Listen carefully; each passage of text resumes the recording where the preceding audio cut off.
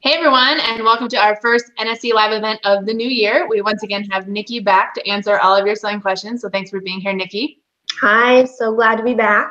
We're glad to have you back too. All right, our first question here, this comes from Brenda. And she says she's wanting to embroider a phoenix or a dragon on her son's t-shirt pockets. And she wants to know how to stabilize the pockets for t-shirt material that is already sewn onto the shirt. So I we, we, we did get the follow-up question that she is going to be hand embroidering, but how would you stabilize it for both hand embroidery and or machine embroidery? Um, so I have not done a whole lot of hand embroidery, um, more machine embroidery experience here. Um, so for machine embroidery, you want to match the stabilizer weight to the fabric weight. So you want to find the, the right stabilizer for your fabric, and that's important for the final look of the of the design. Um, so for a t-shirt fabric that's generally pretty light, I would say to go with um, like a, a, a fabric feel of tearaway stabilizer. So stabilizer will sometimes come in the film variety or the the white kind of fabric type variety. So um, and the film variety is a lot thinner. So I would go with the fabric variety for a t-shirt material. Um, so if you're embroidering a pocket, I would think um, you might need to take the pocket off the shirt first before you embroider if you want to still be able to use the pocket because otherwise the design would be sewn right through the pocket and the shirt and you wouldn't be able to use the pocket anymore. So you, you'll have to take the pocket off and um, lay it on some tearaway stabilizer and do your embroidery either machine or hand embroidery. I don't know if hand embroidery works the same way as um, machine embroidery. Ashley, do you have any hand embroidery experience? Very little, and I do know we have a class um, actually on starting it off already. We have a class on National Sewing Circle um, where we have someone who did a bunch of hand embroidery stitches. And I knew um, growing up watching my mom do a lot of silk ribbon embroidery, uh, she never stabilized anything doing that. So I do believe it is a little bit different because obviously you can adjust how tight you're pulling those stitches, and it's not I mean, unless you are amazing, you're not going as fast as that machine. So I don't have to worry about that much as well. So I would definitely say, definitely use those tips for um, machine embroidery, but maybe not so much. You won't, it's not as necessary, I don't think, for hand embroidery. But to follow up on that, uh, would you still remove the pocket even for hand embroidery, or would you go ahead and just leave it on? Um, for hand embroidery, it would probably be a lot easier to just get your hand inside of the pocket and do your embroidery. So that would eliminate that step. You wouldn't have to take the pocket off like you would with, if you were hooping it, you know, for a machine. That's true. So, That's true. Another thing I like to do, so even when I'm um, trying to say pin something and I don't want to get the layer that's behind it, I always take something like like a clear acrylic ruler like this and like slide it down in the pocket. That way your needle will like I want to say bounce oh. off it. It'll you won't accidentally snag. Yeah. Fabric that you didn't want to to snag. Right. Good tip. So thank you. So um, I know we get a lot of questions. A lot of people are are new to sewing, new to embroidery, that kind of stuff, and we always get questions about machines. And I know you've talked in the past about different things to look for in uh, just a standard sewing machine. But do you have any tips on what to look for if someone's wanting to get into machine embroidery, like machine machines for embroidery? Yeah, um, yeah. So um, embroidery machines, uh, a lot of times, you know, they they make them so that they are dual sewing and embroidery machines, which is really useful. Um, and there's a wide range out there, you know, from starter models that are pretty simple to the big computerized with the screen and, you know, all kinds of um, options available. So it depends on your budget uh, because they get pretty expensive. It's it's some you know it's a big piece of machinery, um, a lot of technology in there. So it's you can spend um, on an embroidery machine as much as you would spend on a car. Yeah, I usually when I see when there's when I see it says financing options available, I usually look at a different model. yeah. Yep. Um, but you can go on the um, the company's website and browse through their models and options. Some websites um, don't have the prices on them, which is kind of annoying. You have to go to a dealer to find out prices or call. Um, but I worked, when I worked for Sewing News Magazine, I worked a lot on um, the Pfaff machines. Um, so Pfaff has a lot of uh, different machines for sewing and embroidery. Um, I know Baby Lock is one that has a lot of embroidery models. Um, Singer, Husqvarna Viking. Um, so yeah, it just it depends on what you're using your machine for. If you want to start a business where you're embroidering things, you want to probably invest in a really good machine that has a lot of options. Um, but if you're just kind of dipping your foot in the water, I would say you can start with something, um, you know, a little bit on the lower end to make sure you like it and you want to continue doing it. Um, but yeah, I'm I'm partial to Pfaff, as you can see by my Pfaff machine here that I love. Um, so I think they're really good machines. Um, we had a bunch of different machines in the sewing room at the office at Sew News, and whenever I had to go embroider something, I always went to the Pfaff. So um, that's just my opinion. I know people have their other brand loyalties, but you know they all, you know, they have kind of the same hardware in them. It's just a matter of which model has all the bells and whistles and things like that.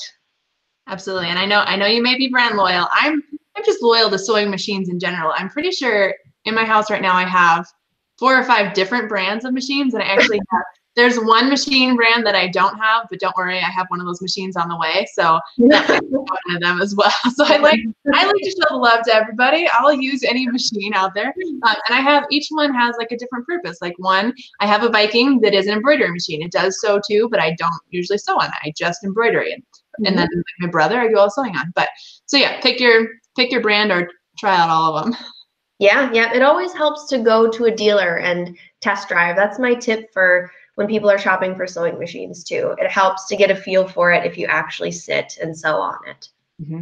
Absolutely. All right. So we've also gotten a lot of questions about thread. So a lot of things uh, about thread is people want to know what is the best thread to use with certain things, but then also what is it you would use elastic thread for? well, for the first part of the question, uh, as far as the best threads to use, um, you've got in you know in your craft store, you've got Gutermann, Coats and Clark, uh, American and Efird, and you know those big brands. Um, and I don't see one as better than the other. It's just whatever brand has the color that I'm looking for to match my fabric. So that is how I choose my thread. Yeah, look at you and your thread racks. I'm jealous of. Color coordinated, of course, you know. Yeah. um, and then, so for elastic thread, which elastic thread you will not find with the thread in the thread section. You'll find it with the elastic in the elastic section. So what do you use elastic thread for? Um, you can use it for a, a, lot of different things. You can use it for some crafting and you know making bracelets and such, but um, typically it's used for shirring or gathering up fabric. So shirring is um, sewing many lines um, with your elastic thread to gather up the fabric to create almost like a smocking effect. Um, but the elastic thread does not go threaded through your needle, it actually goes wound around your bobbin. So all machines are different, but typically you would hand wind your bobbin with your elastic thread. Um, and you don't want to wind it super duper tight unless your machine calls for that. Some might, but generally you want to wind it by hand. Not super loose so that it's kind of jumbled and falling off, but just with a tiny little bit of tension on it. Just pull ever so slightly as you're winding your thread around your bobbin.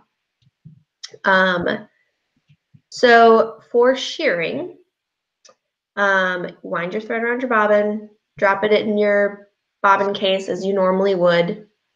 You know, pull the, the elastic thread up through the throat plate as you normally would. Use uh, regular all-purpose thread in the needle.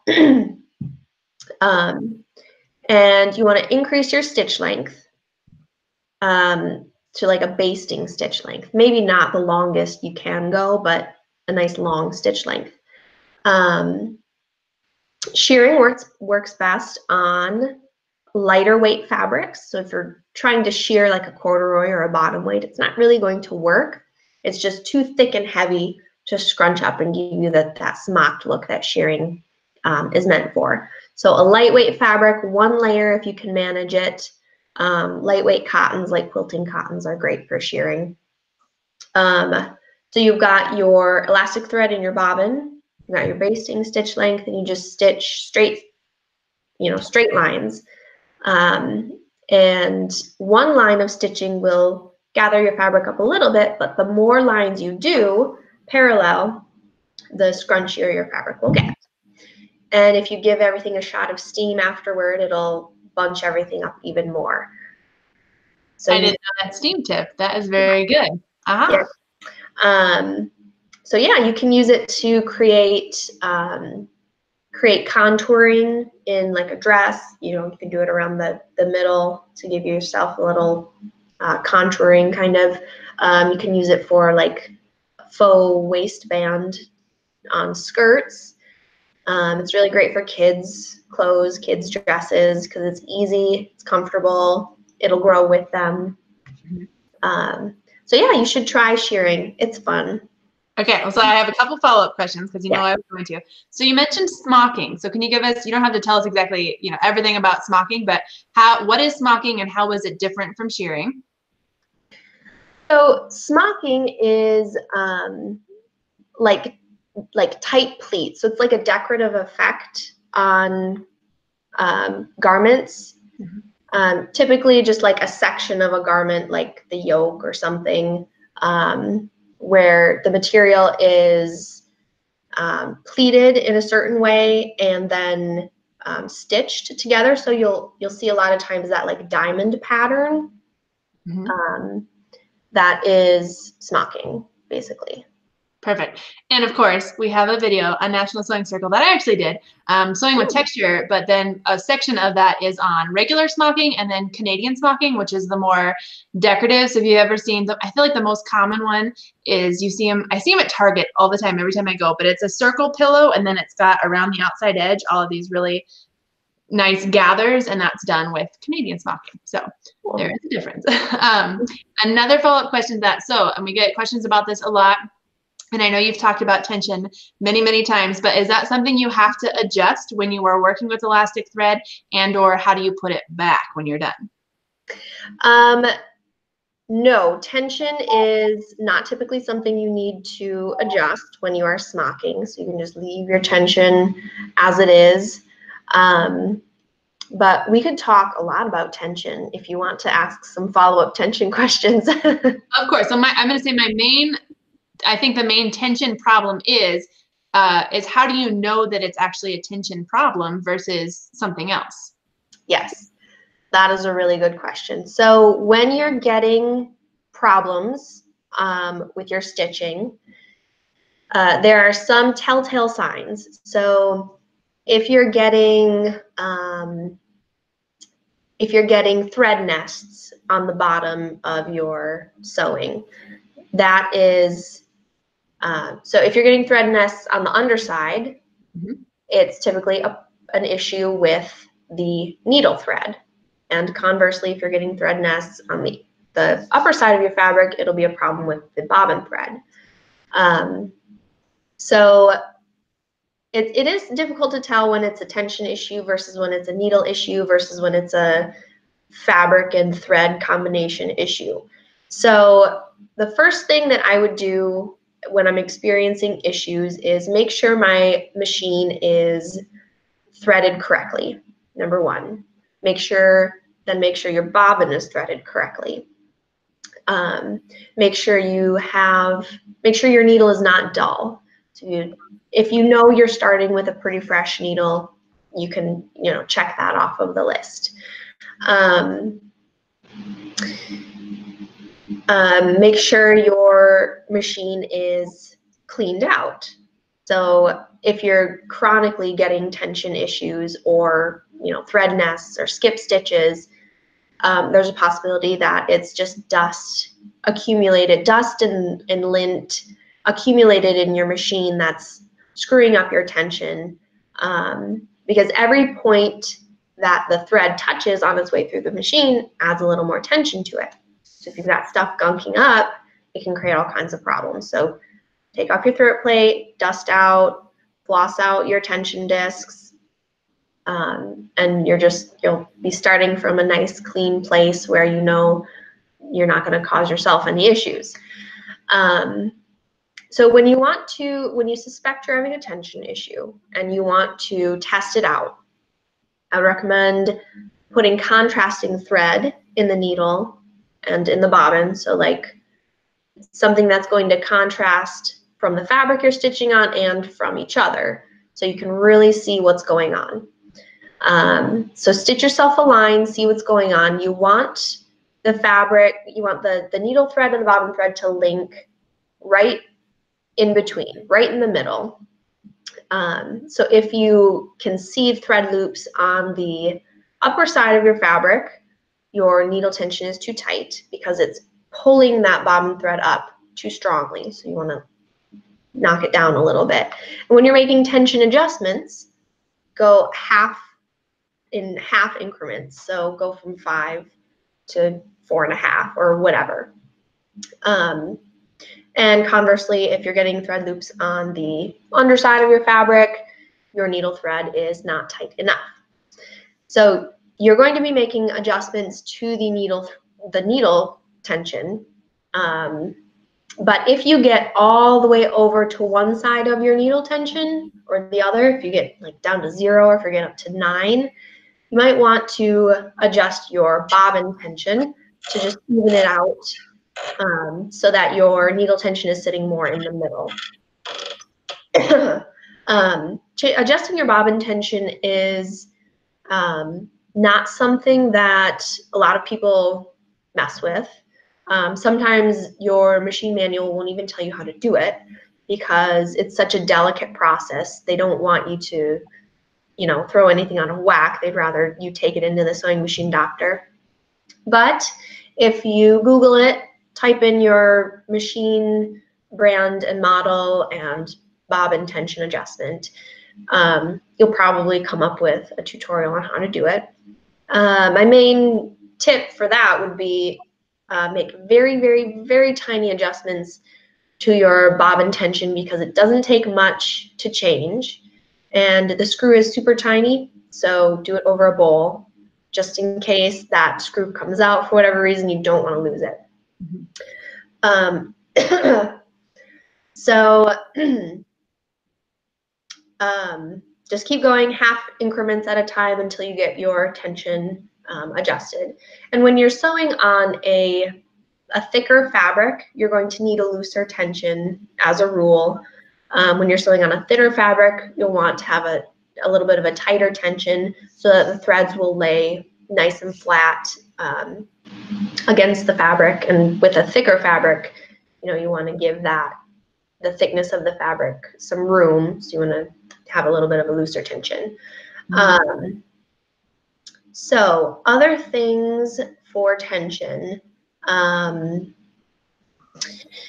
if you are still having issues after you know trying to adjust your tension and you just can't seem to get it right um, you've got a sharp needle your sewing machine is all cleaned out um, make sure you have the right bobbin in your machine that has happened to me before where I have a million bobbins just floating around from different machines. Excuse me.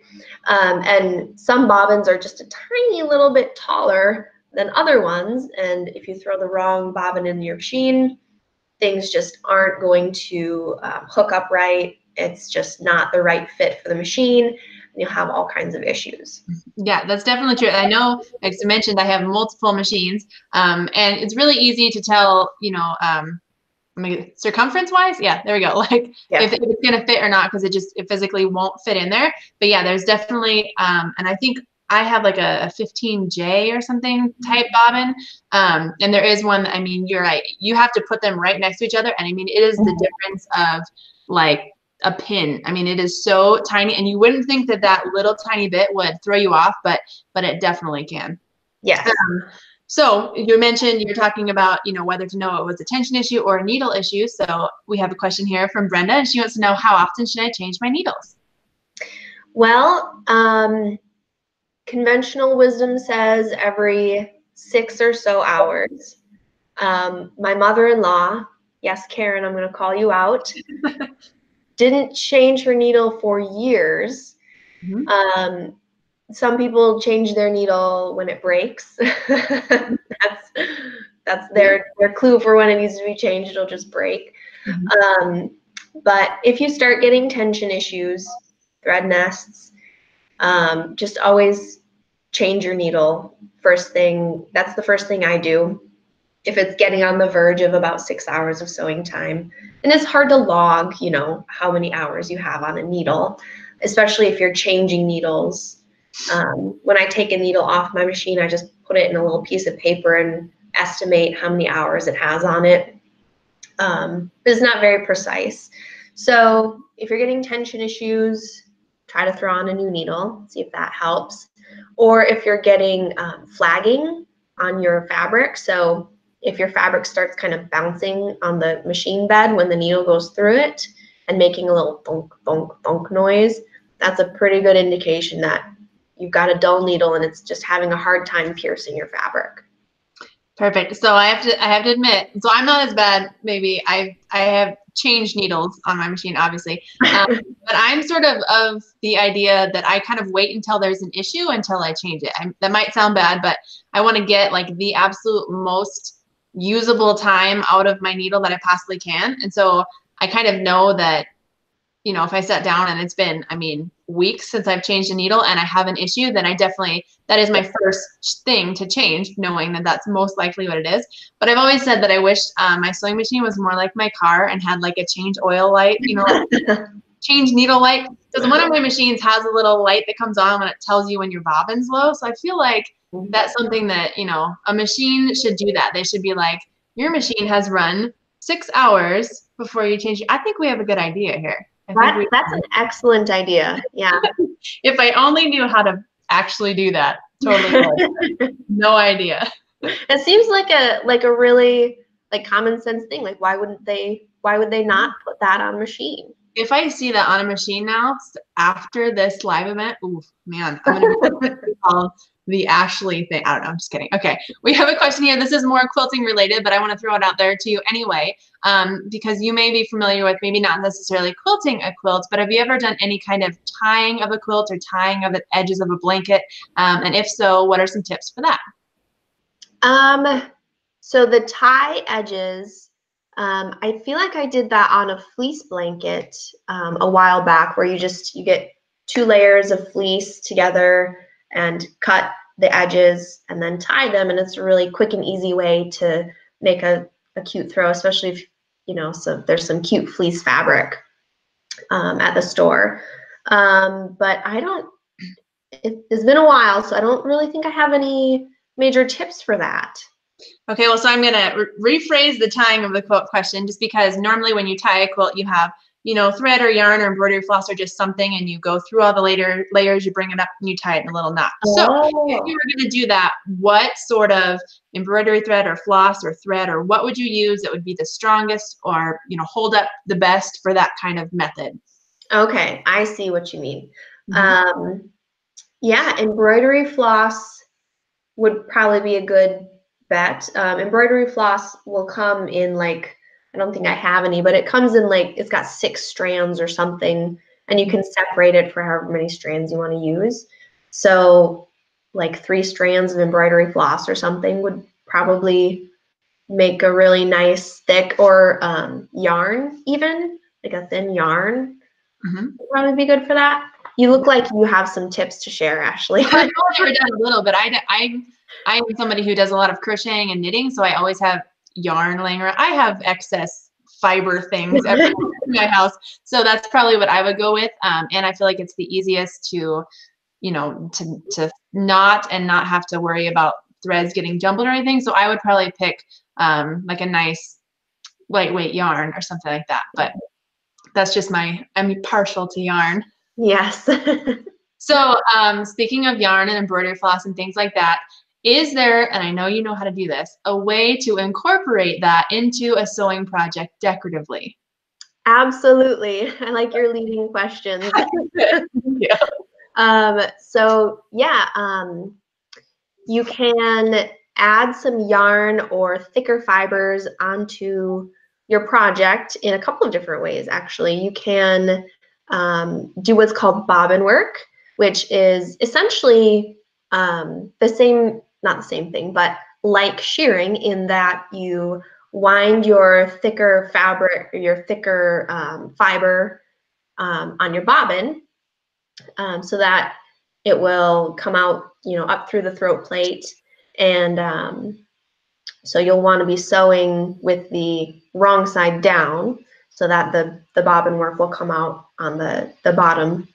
It comes out on, you know, the bottom um, of your fabric. Mm-hmm. Um, or you can also just lay your your yarn or what have you uh, on the top of your fabric and select a, a wide zigzag stitch and just zigzag over it. Um, and you'd want to use a different sewing machine foot for that.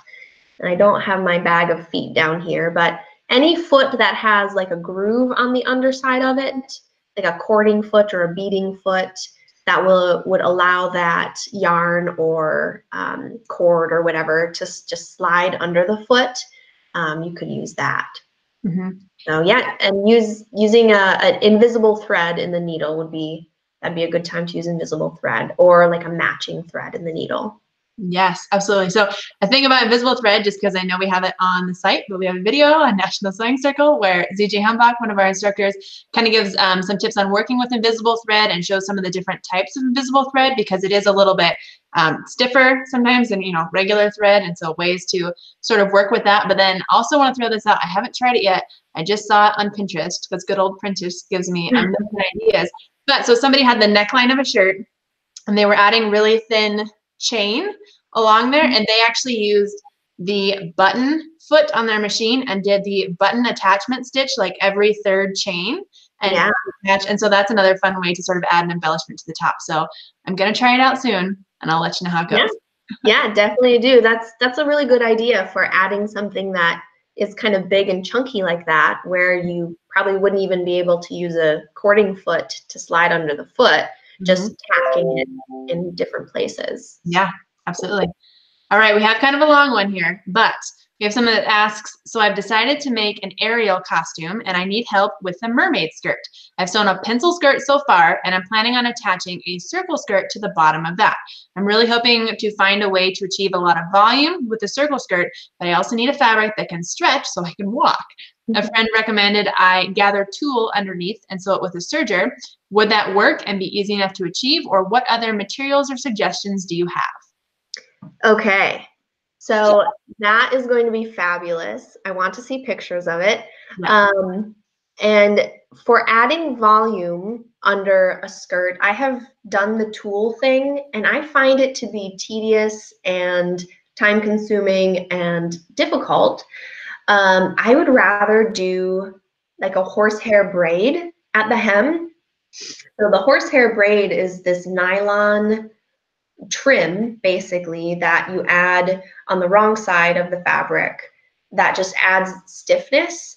So you get, you know, the fabric really, you get a lot of volume with it and no extra weight um, and no extra fabric and stuff going on under it.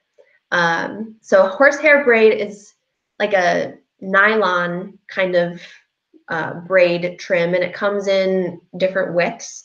You get your half inch all the way up to like a two inch. Um, it's typically used in bridal, like wedding dresses and stuff.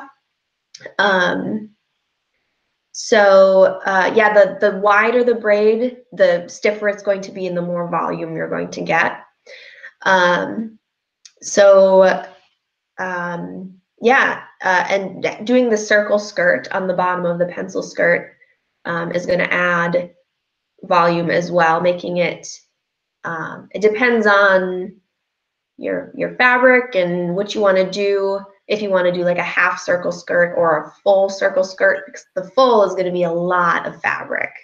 Mm-hmm. Um, but that would probably be really fabulous to do a full circle skirt with some horsehair braid. I think that would look awesome. Yeah, I have I have an alternate suggestion. I because mine's more of a um I want to say a no sew option because obviously you're sewing sewing the pencil skirt and you're sewing the circle skirt onto the bottom. But I actually so I did a, a, wedding dress alteration a while ago, and it was a trumpet cut, so not quite as you know drastic as um, the mermaid cut. Um, and they had the same issue; they needed more fullness in it. And so rather than making my own gathered tulle, I actually went on Amazon and bought one of those. And I'm forgetting the name of what they're called, but they you wear them. I wore them one underneath my wedding dress, and it already comes with all of the tulle gathered in. And I know my mom's watching, and I hope she comments on here with that word because I can't think of it, and she'll remember. Um, and you can buy one in any different kinds of cuts. So you could either you know make your um, your costume and then just wear that underneath or like what i did is i actually bought one and then cut the gathered tulle part off of it and then sewed it into the wedding dress so that it was still all one piece. But so that is an, an option too if you want sort of a quicker and honestly it was actually i priced it out cheaper to buy one of those uh, than it was to buy all of the yardage of tulle that i would have needed. So good old yeah. to the rescue. But yeah, um, I'll figure out what that's called and get back to you on that. Is it like a like a petticoat? Um, yes, but I feel like it's um there's a different word for it. I know what I know because I I had one under my dress, my wedding dress too, and the word is escaping me as well. Me too. But yeah, that's a, a really good idea. And a lot of times it can be cheaper to just buy something mm-hmm. pre-made yeah. than having to buy all of the tulle because it's a lot of tulle. It is, yeah. All right. As soon as that, that word pops into our heads, um, we will revisit that. Um, but another question here from Brenda. She says she has lots of older thread. How do I freshen the old thread so it doesn't break? I know my grandma used to speak about freshening her thread, but I don't know how it was done. Um, yeah. So a note on old thread first. Um, old thread, you can use old thread vintage thread is fine to use as long as it was stored properly. So sunlight, UV light will weaken the threads, weaken the fibers in the thread and give you a lot of breakage. So um, just make sure your, your thread is stored away from sunlight and also away from humidity. So in some place, you know, not in a corner of your basement where there's, you know, a lot of, of wetness and humidity. Um, so that's uh, a good way to make your thread last uh, for your grandchildren. Pass your thread stash down to your grandchildren. Um, keep it away from sunlight and humidity. Um, if your old thread uh, that you got from your grandmother uh, is giving you some issues, a lot of thread breakage and what have you, um, you can use um, thread, what's it called? I only have fray check here, which is not what I'm looking for. What is it called? You have. Uh, it's just a thread conditioner. The thread conditioner. It's called Sewer's Aid. Sewer's Aid. That's right. That's what it is. It's a thread conditioner. so you just you run a line of it, a little bead of it down down your your spool of thread, and it just it uh, conditions it, strengthens it, um, and it comes in a bottle very similar to Fray Check. So before you put the thing on your thread, make sure, look at the bottle, make sure you're not putting your fray check on your thread. Um, but yes, Sewer's Aid is the name of it, and that can help condition your thread to prevent thread breakage. Yes. And to revisit, it's called a crinoline. Crinoline? Yes. Okay. Okay. Yeah. That would have bothered me like all night. So I'm figured out. All right, next question here. This is from Jackie, my mom. She wants to know, does a dull needle affect the way a walking foot works? Um, I don't, I don't think it would affect the way the walking foot works. It would affect your tension and um, the way everything looks, but not necessarily the walking foot and the way the walking foot works itself. Um, another note about a dull needle, though, um, there are certain fabrics that will dull your needle faster than others. Mm-hmm. Um, fleece, felt, batting, especially the batting, the insulated batting with the flecks of silver in it, um, that will dull your fabric a lot, dull your needle a lot quicker. Um, vinyl, leather and faux leather, things that are kind of hard on the tip of your needle will dull your needle quicker.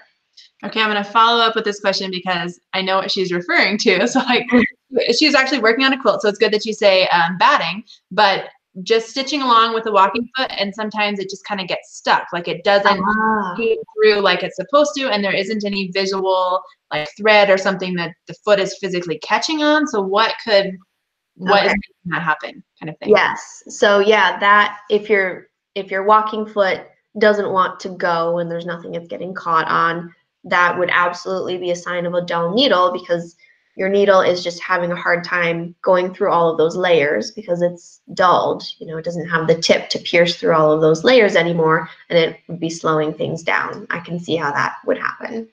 Gotcha perfect. All right so mom change your needle. All right, our next question here, Charles wants to know, how can I take in the cuffs on a pair of snow pants with several layers? So snow pants that have several layers. Um, I would say, you know, the, the quick and easy solution is just to, to pinch it in on the inside. And it's gonna it would be thick probably with a snow pants. Um, i've never done it before but i'm trying to imagine how that would work.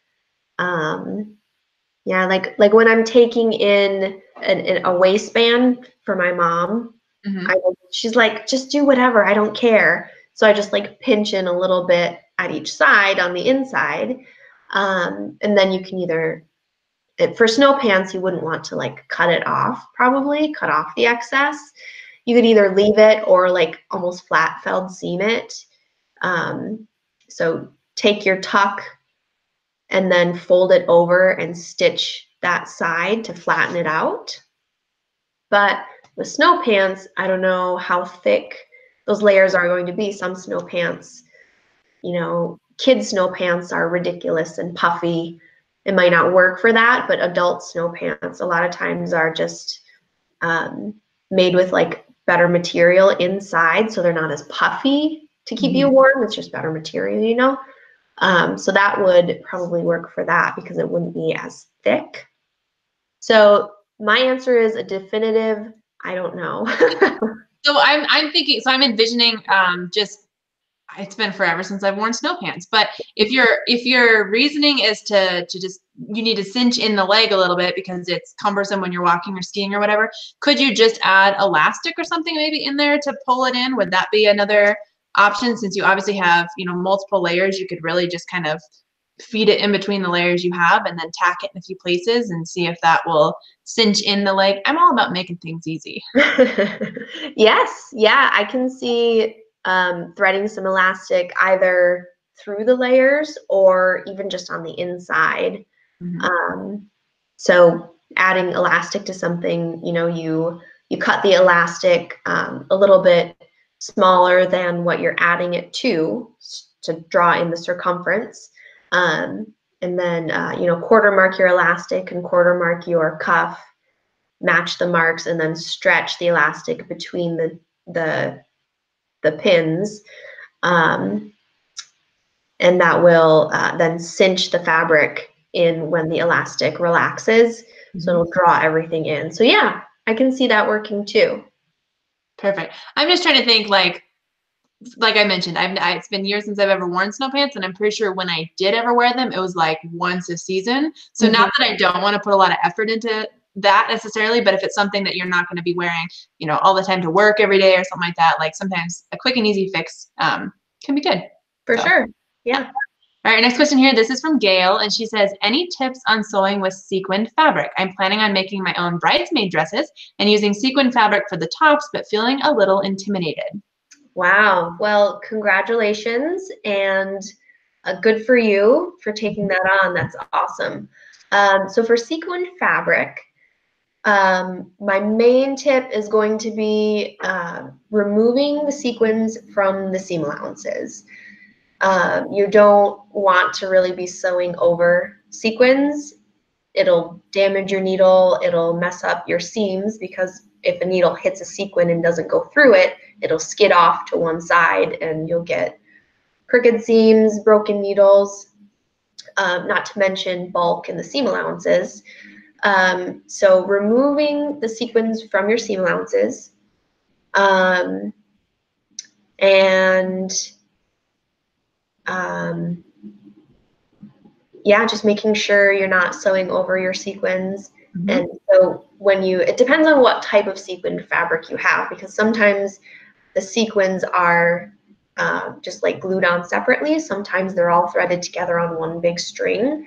So if you need to cut a string um, to remove the sequins from the seam allowance, you would then want to like put a little dot of glue or something to mm-hmm. keep the rest of the sequins from falling off. But I know Ashley has a video on working with difficult or sequined or fabrics. You're stealing my line. That's like my line. We have a video on National Sewing Circle, and it's a, it's a whole class on working with difficult fabric, and sequin fabric is one of those sections. And so, yeah, I do talk about um, depending on your manufacturer, it's either called like type A, type B, or type 1, type 2, and that's whether it's, you know, glued on or the sew on variety. Regardless, I would still probably try and remove it. Um, if not from the seam line on both, then from what is going to be turned under.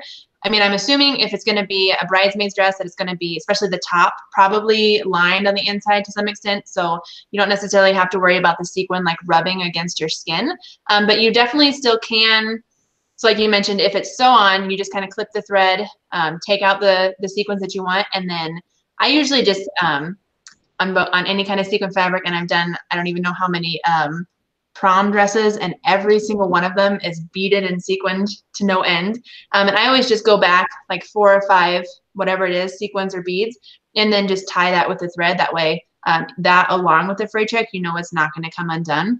But then even if it's just glued on, you can still take that sequin off by just actually using your iron, which I know sounds weird, but just you just are essentially warming up that glue and then it kind of melts it away and it just sticks to the tip of your iron. And then I usually have long fingernails and I just use my fingernail and just wipe it right off or just get a towel. So it's super easy to do. So don't think that you can't or that you have to like sit there and pick at this glue forever. So yeah, that that's definitely the main thing. Um, would you change up your needle at all?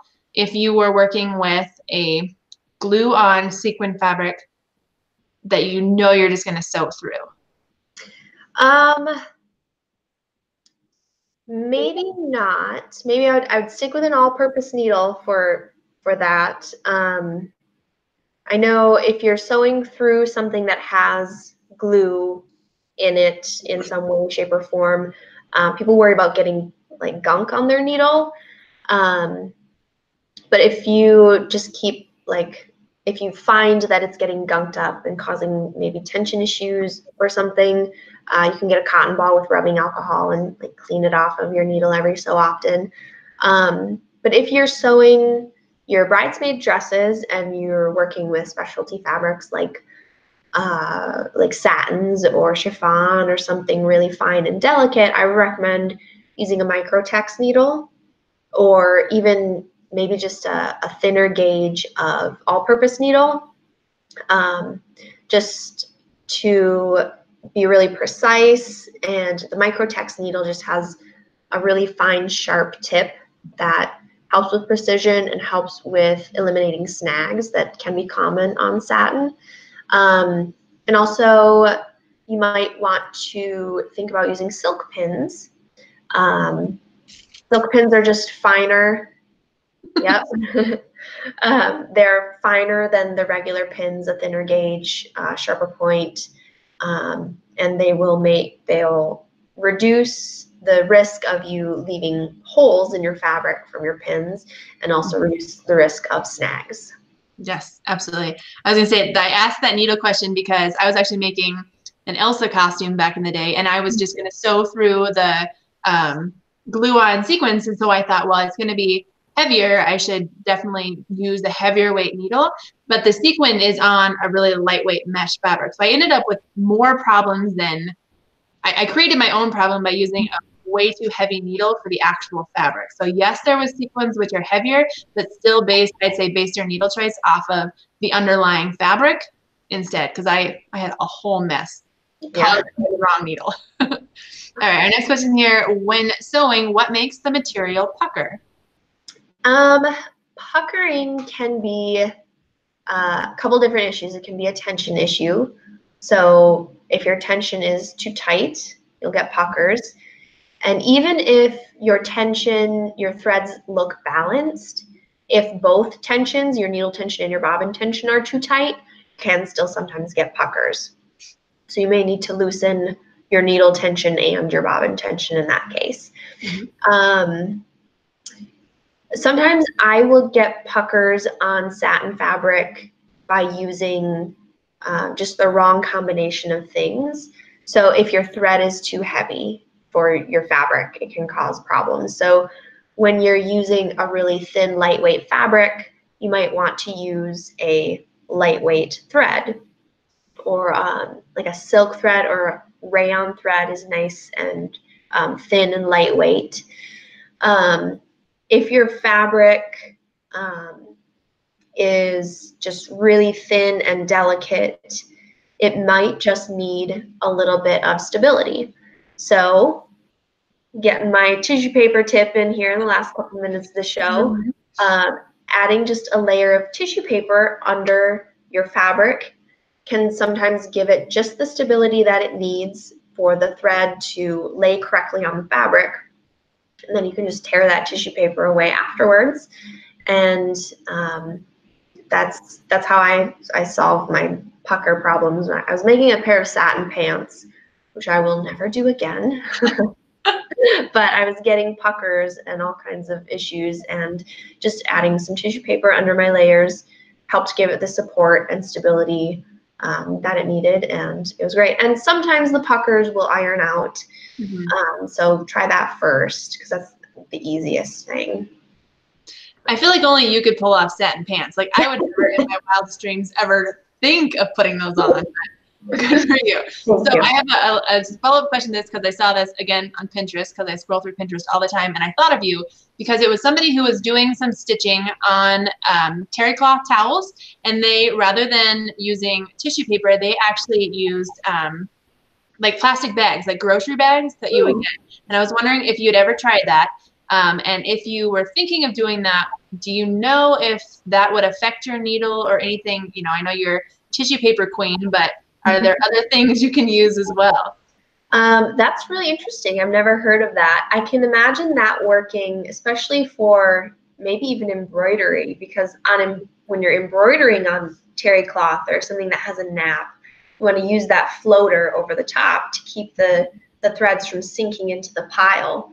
So they make them specifically for embroidery. It's they call them toppers, or you can even use just the, the heat removable stabilizer as a topper. Um, but yeah, I can imagine just a plastic bag would do the same thing, just to give that, that thread lift so that it doesn't sink down into the pile.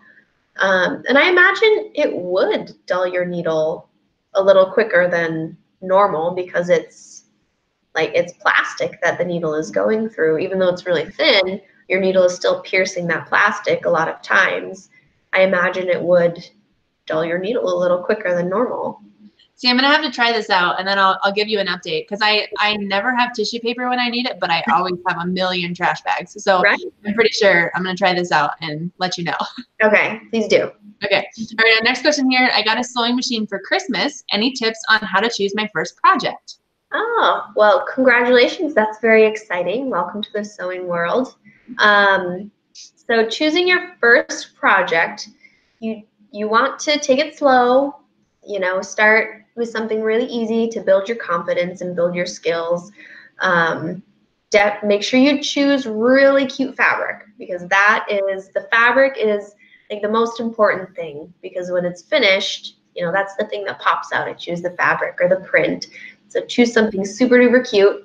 Um, and go with something you know, nice and simple, something that doesn't require zippers and buttonholes and, you know, all kinds of crazy things build up to that. Um, so, you know, just just straight lines, straight stitches. Um, scarves are a great project. Um, if you want to do, you know, you can do, do just your standard rectangular scarf, or you can do a circle scarf. That's a really cute and easy project. Um, all you need is two rectangles of fabric and you just, um, I won't be able to explain it correctly. Just don't worry, we have we have a video and even an article on National Sewing Circle on a couple scarves, on circle scarves or infinity scarves, whatever it is you want to call them. And um, we do have, like I said, a video and an article. So if you want like an actual pattern for that too, that's also included in the article. Um, but that was going to be my thing is that uh, my tip for choosing your first project would be to make it something that you can either wear or use when you're done because I feel like you get more satisfaction being able to use it or show it off and be like, look, I made this, you know. So that way it's not just something that you made and it's going to sit in a closet somewhere. So being able to appreciate what you made is going to make you want to make more things. Yes, absolutely. Pillowcases are a great easy one. Yep. Curtains, even that's a little bit, maybe a little bigger, bit, but yeah, yeah, bigger, but it's still just rectangles and straight mm-hmm. stitches. So that's fun too. Is yeah. doing curtains because it's you know right there on your wall and everybody can see it we have a video on National Sewing Circle for both for both curtains and also valances. So we have one for both if you want to make one of each. Um, all right, next question here. Brenda says she's making a vest for her oldest son with some fancy brocade. What type of lining do you recommend? Um, so for lining, um, definitely something lightweight and thin. Um, rayons, nylons, blends are good for linings because um, they're they're slippery, mm-hmm. um, so it makes it easier to get on and off, which is more important in jackets than in vests, but still, um, yeah, just something lightweight. Um, actually, if you're just doing a vest, you could probably just use, you know, like a lightweight cotton even, and then you don't have to worry about the slipperiness of the lining. Mm-hmm. Um, yeah, as long as it is something that um, kind of matches um, the color of the uh, the vest, which is not even necessarily you don't really need to need to match, but um, if you, if the lining and vest is going to like if you're turning the lining under right at the edge, that's the only reason I would say to get a matching lining because it might you know you might be able to see it on the edge. And you can try to you know turn that under a little bit more than having it match uh, the the seam match right on the edge, right? Um, but just for safety. So I've only I've had a little bit of experience sewing with brocade fabric, but it's been years. I used to be really into like Oriental print fabrics and all of that. Um, but the one thing I remember about brocade is how how staticky it is and how much it ravels. So do you have any sort of general tips on how to tackle those two main issues of brocade fabric? Um, yeah, so um, for raveling, if you have something that ravels a whole bunch, um, just finishing the edges as soon as you cut it out, um, like overcast the edges. But uh, if you're serging the edges, make sure you don't cut any off of your seam allowance because that's going to mess with the whole rest of your project. Um, but you can even just zigzag stitch to overcast over the edge to keep those threads from wrap, fraying and unraveling all over the place. Um, and as far as it being staticky, that would probably be a good reason to use a cotton fabric as a lining rather than rayon or nylon because that can be staticky themselves. And mm-hmm. cotton, I feel like, absorbs or doesn't generate as much static electricity as other fabrics. Right. Absolutely. All right, and we have a follow-up to that. Also, any information on welt pockets would be greatly appreciated. Ah, welt pockets. Um, so welt pockets, I did a video, didn't I? I this now. Yes, I did. And welt pockets, I would love to be able to describe it for you right now, but it's hard without samples and we're running out of time. But um, yes, I did a video on National Sewing Circle, uh, a couple different ways to do um, welt pockets and I think bound buttonholes too, which is basically the same technique. Mm-hmm. Check that out. Yes. We have a couple, I think, for everything. Yes. Yeah. As you mentioned, we, we're kind of running out of time, but we have a couple more here. So um, Terry wants to know, to take in woven slacks, would you take in both the inseam and the side seam? Um, depending on how much you need to take it in, yes. Um, just like in pattern making, if you need to take size off of something, you want to take it off of different areas so that you don't end up looking lopsided. Um, because if you just took everything off of the outer seam, that would affect the fit of the rest of the pants. Um, so yeah, breaking it up and taking some off of the side and some off of the inseam would be a good idea, I would say. So sort of follow up on that, just I was just thinking, would, would um, necessarily your body type have any play on where you decide to take in the pant? Like if you're fuller in the hips, you know, versus somewhere else. Yeah. Yes, absolutely. Um, all body types are different. You know, all bodies are different, and um, you know, you might need more taken out in some places rather than others. So it's not going to be a uniform, not necessarily a uniform, you know, one inch all the way down here and one inch on the inseam. Um, I'd say try on the pants yeah, inside out and pin out what you need, where you need it. Um, and that'll give you a little map of where, how much to take out where. Yes, we we don't necessarily have a video on someone wearing their pants inside out on National Sewing Circle, but we do have one where Aurora wears her shirt inside out and shows us sort of the same idea of how to mm-hmm. just like pinch in when you're taking in a shirt. So you can absolutely do the exact same thing with whatever article of clothing it is that you want to take take in. So we're about at the end of the hour, so I just have to do a couple little pitch things for our um, sister site actually. So National Quilter Circle, we're getting ready to start our next mystery challenge. So even if you've never done any kind of quilting, sometimes people who do sewing like to branch out into the quilting world as well. Um, so we definitely encourage you to sign up for that and there is a banner uh, should be somewhere on the page where you're watching the video and you can click and join that. That starts soon so i definitely hope everyone does that because i want to see you there. And since we have one minute left cindy wants to know do you have to use a certain foot with the elastic thread? No you can just use your regular normal sewing foot and use your do your elastic thread and shirring. No special things needed Perfect. Awesome. I want to thank you so much for being back here to do our uh, live event and answer all of our questions. We missed you. We're glad you're back. I have missed everyone too. I'm so happy to be back. Perfect. And we'll see you again next month. And I hope everyone joins us again with some more sewing questions that Nicki can answer.